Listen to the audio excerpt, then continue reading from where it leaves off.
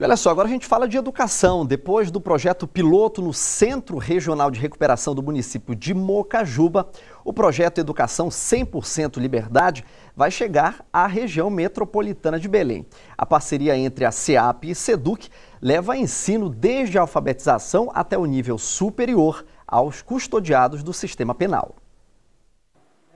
Uma sala de aula diferente, onde os estudantes vão ter, através da educação, uma nova oportunidade de vida. Eu tenho um, um sonho de me formar em agroastronomia, então eu quero colocar em, em prática esse sonho meu. E hoje eu vejo aqui que eu estou tendo essa oportunidade que eu não tinha lá fora. Nós conseguimos alfabetizar 780 no passado PPL. Então, pessoas que não tinham mais nem perspectiva de aprender a escrever o próprio nome. E hoje já estão no ensino fundamental. E se Deus quiser, a gente vai conseguir que eles concluam até o nível superior. Estamos no PEN 2, unidade prisional na região metropolitana de Belém, que a partir de agora vai receber o projeto Educação 100% Liberdade.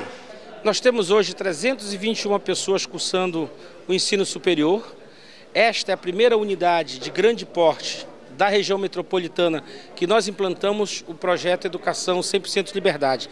Fizemos um projeto piloto na unidade prisional de Mocajuba, que é uma unidade que tem 99 internos, e agora fizemos o primeiro na região metropolitana. O projeto é desenvolvido numa parceria entre a Secretaria de Administração Penitenciária com a SEDUC, por meio do Sistema Educacional Interativo, o SEI, além de parcerias com algumas universidades, já que a ideia contempla desde a alfabetização, incluindo os ensinos fundamental, médio, além do técnico e o superior.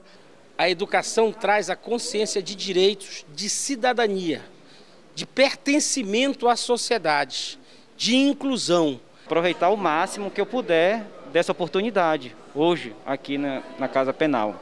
A gente está trazendo um leque de opções para que eles realmente saiam do sistema né, com uma profissão, um diploma embaixo do braço.